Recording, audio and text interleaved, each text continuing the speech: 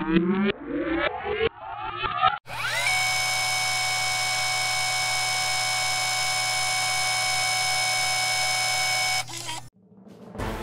following is a presentation of RMG Sports, award winning championship television. Rich in history and natural beauty, Knoxville, Tennessee is a gorgeous city filled with culture, the arts, and fun in every direction. Today, the fun shifts to the Tennessee River as Powerboat Super League returns to Volunteer Landing. Get ready, race fans. RMG's Hydro Zone from Knoxville starts now.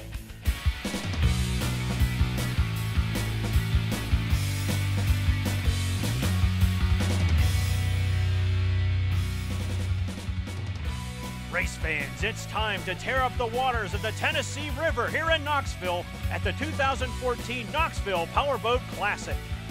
Hello again, Jared Romsberg back with you again this year and so excited to be back in volunteer country where it is time for the Visit Knoxville pre-race show. Memories are made at the crossroads. Start making yours at visitknoxville.com. Time trials in two groups of two heat races would set Powerboat Super League starting grid. And 30, Rob Rinker sat on the pole for heat race one. But 27, Mark Proffitt from nearby Jacksboro, Tennessee, was lurking in second. Rob's brother Ashton Rinker in the Amsoil 20 had a bad start and had to work his way up towards the front. Here he gets by John Ludwig and moves into fourth. None of this mattered to Rob Rinker as he kept Mark Proffitt at bay and brought home the win in the first heat. In Group A's second heat, the inverted starting order had John Ludwig on the pole, but Ashton Rinker in the Amsoil 20 blasted off of the dock and took off with the lead out of turn four. But looming large in Rinker's mirrors was 27 Mark Proffitt. He wanted to put on a show for his hometown. He would do just that. At the race's halfway point, he slid to the outside of Ashton Rinker and powered by to the point on the front stretch to the cheers of the fans at Volunteer Landing. Rinker held the inside line, but Proffitt had the power and pulled away. Zimmerman, Minnesota's Merv Bjork was back in third and was trying desperately to catch up to Ashton Rinker. But the Amsoil 20 hit the gas and wouldn't let the 32 anywhere near him. The 27 was a blue dot on the horizon at this point, and Mark Proffitt thrilled his hometown fans by winning Group A's second heat. Qualifying was only halfway over. It was time for Group B's heat races, and 80 Brent Dillard from Dalzell, South Carolina, sat on the pole and exploded off of the dock. Dillard won Powerboat Super League's Formula 2 feature here last year, so he knew exactly how to get to the front of the pack and how to stay there.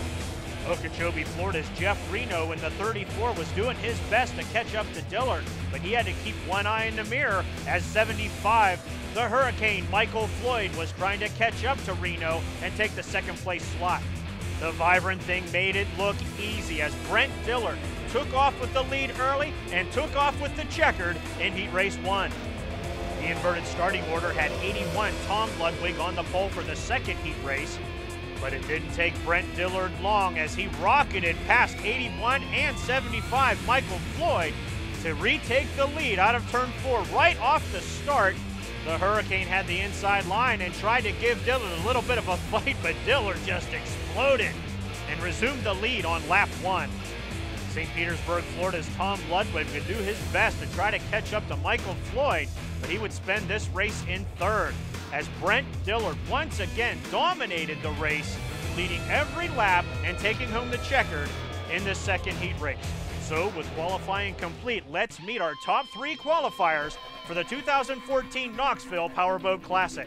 Starting third is Rincon, Georgia's Michael Floyd. The Hurricane knows he has his work cut out for him with the fleet of boats here in Knoxville. I'm tickled to death. I mean, these are some fast boats. I'm glad we're up here in third. We're going to try to hang on to it today. It's a really great place to race, really great water. I'm looking forward to the final event. Starting second is last year's winner here in Knoxville, Brent Dillard. He knows he's going to have to work hard to beat the hometown favorite. Yeah, hopefully I can dis- disappoint all these volunteers, and um, he's going to be tough to beat though. That Optimax, it's it doesn't come off the dock as well as the 120, but he's smoking down the straightaway. So I don't know if I'll be able to hold him off, but I'm going to try my hardest. And starting on the pole is Tennessee's own Mark Proffitt. The hometown favorite is anxious to bring home a win. Oh, it's awesome to be starting on the pole, you know, in my hometown with all my family and friends and the crew that's all worked really hard to put us where we're at. They, uh, we're excited for the final. Now here's the rest of the starting grid for the 2014 Knoxville Powerboat Classic. Starting fourth in the AMSOIL 20 is Riverview, Florida's Ashton Rinker. In fifth, it's his younger brother, Rob Rinker, in the AMSOIL 30. In sixth, we find the pride of Okeechobee, Florida, Jeff Reno. In seventh, it's the Total Medical Supply 32, driven by Zimmerman, Minnesota's Merv Bjork. Tom Ludwig from St. Petersburg, Florida, will start in the eighth slot. In ninth, we find Tom's brother John Ludwig from Millersport, Ohio. And Lee Daniel from North Augusta, South Carolina will be in the 10th and final slot. Fans, we have so much more for you, so don't move. RMG's Hydro Zones coverage of the 2014 Knoxville Powerboat Classic continues right after this. This segment of the 2014 Knoxville Powerboat Classic is brought to you by Visit Knoxville. Memories are made at the crossroads. Start making yours at visitknoxville.com. Race fans, welcome back to Volunteer Landing here in Knoxville, where Powerboat Super League's Formula 2 Series is at the dock, ready to go. And let's take a look at how they're going to line up for the 2014 Knoxville Powerboat Classic. The local favorite, Mark Proffitt from just down the road in Jacksboro, Tennessee, sits on the pole. But man, the fleet is anxious to try to get around him as we now go dockside. This is the calm before the storm. The canopies are closed, the belts are tightened, the fuel pumps are on. All eyes are now on the flagman as we wait for the drop of the flag. And we're racing in Knoxville. Go, go, go, go. Stay inside. Stay inside. Zero to 104 seconds as they explode on the course. Side by side battle for the lead into turn three. Oh, we have contact! Contact! Trouble in turn three! Trouble in turn three! Our pole sitter, Mark Proffitt, upside down in the Tennessee. He gets the canopy open and his belt's unbuckled and he's out of the boat, working his way to the surface. And this race is under caution before it even gets started.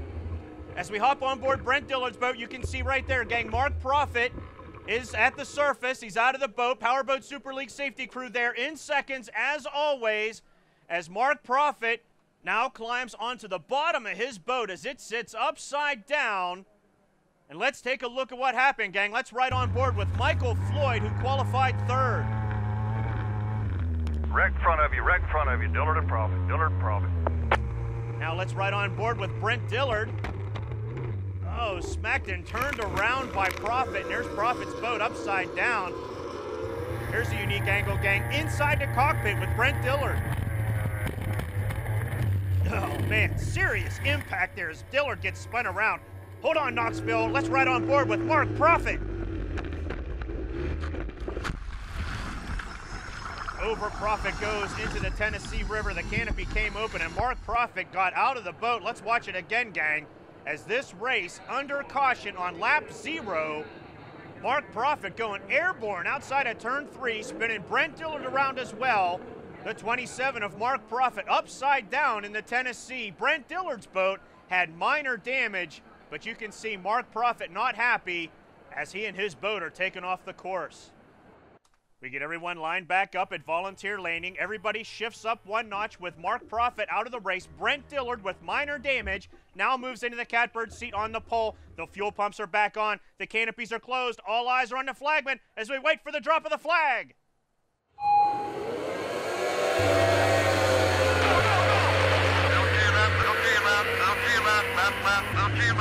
Come on, come on. Looking good, looking good, looking good. The fleet screams onto the course. Let's see how they do in turn three this time. Everybody gets through, and Rob Rinker slingshots the AMSOIL 30 around, and now he's going to battle with his brother Ashton Rinker for the second place slot as last year's winner, Brent Dillard, picks up right where he left off at the end of the 2013 race.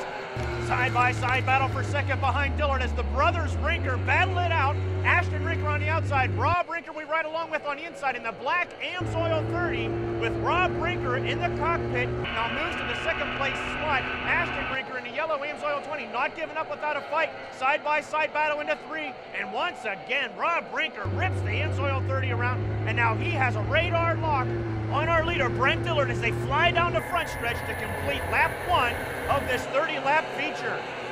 Rinker now flying up on the outside of Dillard as they fly into turn one. Side by side battle for the lead. Fans on the shoreline at Volunteer Landing loving this race. Here comes Rob Rinker powering by Brent Dillard on the outside. Side by side battle for the lead on lap two of this race. And there goes Rob Rinker into the lead in Knoxville. The Optimax powered Amsoil 30 proven to be too much for Brent Dillard as now he has to deal with Merv Bjork. Merv Bjork now slides into the rooster tail of Brent Dillard tries to make some ground on the inside as Rob Rinker takes off with the lead. Fantastic racing action here in Knoxville, and we're only 10% into this race as Brent Dillard tries to catch up to Rob Rinker, but you can see he's disappearing on the horizon already. Brent Dillard won here in Knoxville last year. He's looking to make it two in a row as now Merv Bjork had to contend a little bit with Ashton Rinker, but Merv Bjork from Zimmerman, Minnesota started back in seventh place. Three laps into this race, he's now in the third place slot and creeping up on Brent Dillard, who rides in second. As we ride on board with Merv Bjork, you can see he's in one of the outside lanes as Brent Dillard chooses to ride the inside lane. Bjork uses the outside lanes, keeps his momentum through the turns, and stays on the throttle. And now he's starting to reel our second place driver in. Brent Dillard in the orange 81 here last year, now riding in second, and now running the risk of sliding back one more notch as Merv Bjork, turn after turn, continues to reel that Dillard Financial Solutions boat in of Brent Dillard as they cross the line here at Volunteer Landing and start lap five of this 30 lap race. Brent Dillard doing a fantastic job in qualifying, earning the second place slot and then the pole by virtue of pole sitter Mark Proffitt going upside down in turn three. But now Merv Bjork again trying to reel Brent Dillard in as they move down the straightaways. And once again, Brent Dillard moves that boat along on the inside lanes. Here comes Merv Bjork on the outside, way outside. They're going to split the bridge as it comes down the front stretch. 105 miles an hour as they fly across the surface of the Tennessee River and into turn one. Dillard hugs the buoys, holds the inside line, and now Merv Bjork tries to go on the inside line as well. Gets caught in the wake of Brent Dillard, and now he's going to work it again. Side by side battle for second on the backstretch. Merv Bjork on the outside, Brent Dillard on the inside into turn three. Oh, inches apart as they go through three and four. And Merv Bjork holds that outside line. Here he comes on the inside looking to slam the door on Brent Dillard, and he does just that. And last year's winner now in third as Merv Bjork moves into second and now sets his sights on that Black Amsoil 30. He has trouble. Does Merv Bjork in turn two, gets back on his horse. Brent Dillard not able to take advantage of that. As we catch up with our leader, Rob Rinker, he's already on the front stretch. We'll ride out with him to a break. More powerboat racing from Knoxville right after this. This segment of the 2014 Knoxville Powerboat Classic is brought to you by Boomsday 2014, the nation's largest Labor Day fireworks show. Get the details at boomsday.org. Race fans, welcome back to Knoxville, Tennessee in the 2014 Knoxville Powerboat Classic as we ride on board with our leader, Rob Rinker, coming out of turn four now. Rinker took the lead on lap two and hasn't looked back, putting boats multiple laps down. That's Lee Daniel to his left in the two. Daniel from North Augusta, South Carolina, now about to be put another lap down as Team Amsoil continues to dominate. Second place, Merv Bjork, just now in the middle of the front stretch. However, Bjork hit a buoy on lap nine, and he's being listed in second place right now, gang, but I'm afraid he's going to be penalized, and I believe he's going to be dropped back to third. We're going to keep him in second now, as again, there's our leader, Rob Rinker in the Amsoil 30, flying down the front stretch, coming up on some lap traffic of the 75 of the Hurricane, Michael Floyd from Rincon, Georgia, and the 34 of Jeff Reno from Okeechobee, Florida. They're going to hold on to the inside lines. Rob Rinker playing it safe. He's going to stay to the outside. Rinker has amassed a huge lead. All he has to do is stay out of trouble and get the Amsoil 30 around this course as we're treated to a fantastic view from outside and inside of the 34 boat, courtesy of Jeff Reno, as they now come out of turn four and down the front stretch. Rob Rinker now coming up alongside of Michael Floyd as they cross the line to see the white flag one more time around this course here on the Tennessee River in Knoxville. A little bit of redemption here on the Tennessee for Rob Rinker. He wrecked in qualifying for the 2013 race, didn't get to race, and here he is in 2014, and he's in the lead, looking to take the checkered. His brother Ashton is stalled in turn four. He's got to get around him. Whoa, dangerous situation there as Ashton Rinker was stalled in turn four. The checkered flag is in the air. One more time down the front stretch, and fans, your winner in Knoxville from Riverview, Florida, it's Rob Rinker. Merv Bjork is currently listed in second, Brent Dillard in third. Fans don't go anywhere. The Visit Knoxville post-race show is coming up right after this. This presentation of the 2014 Knoxville Powerboat Classic was brought to you by WNML, the sports animal, the flagship station for University of Tennessee sports. All Occasions Party Rentals, your premier event source. McGee Tyson Airport, now boarding at flyknoxville.com. The Knoxville Convention Center, Southern Hospitality, Downtown Sophistication, Outdoor Adventure. And by Outdoor Knoxville. Check out Knoxville's outdoor activities, venues, and events at outdoorknoxville.com. Race fans, welcome back to Volunteer Landing here in Knoxville, where your winner of the Formula 2 feature, Rob Rinker, salutes the fans as it is time for the Visit Knoxville post race show. Memories are made at the crossroads. Start making yours at visitknoxville.com. Here's our third place finisher. You get a little tight and you, you take out a buoy like I did, and then you're you're down a lap, and it's a struggle all the way getting around. And uh, we never did get on the lead lap with the, the lead boat, but um, stayed outside. That's what um, guys are telling me. We kept it pedal to the metal, and that was uh, Gary Pugh says, you got so many laps left, just keep on it, and you never know what'll happen, and, and uh, good things happen today. The General Lee Daniel and the Hurricane Michael Floyd round out the top five finishers here in Knoxville. Now let's catch up with our runner-up, Brent Dillard. Oh yeah, that first lap was pretty rough. Me and Mark Proffitt got into it a little bit, and um, luckily my boat was able to go, and so I made it back to the dock and was able to restart. It's really tough with the Optimaxes. I mean, my 120, I try to keep up with them, but it's pretty tough. And I want to um, thank my sponsor, Dillard Financial Solutions, because without them, I wouldn't have been here this weekend. Ashton Rinker had fuel system issues, causing him to stall on the race course and moving him back to seventh place. Knoxville, here's your 2014 winner. Yeah, it stumbled a little bit. Um, you know, we got it picked back up. It was working through the rooster tails of everybody, but um, you know, the Amsoil did what it, Amsoil boat did what it was supposed to do and uh, got me through that, and we were able to get underneath a couple guys and get out front quick.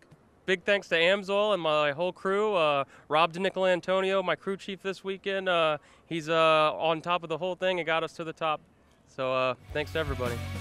Race fans, we had a fantastic time here in Knoxville, as always.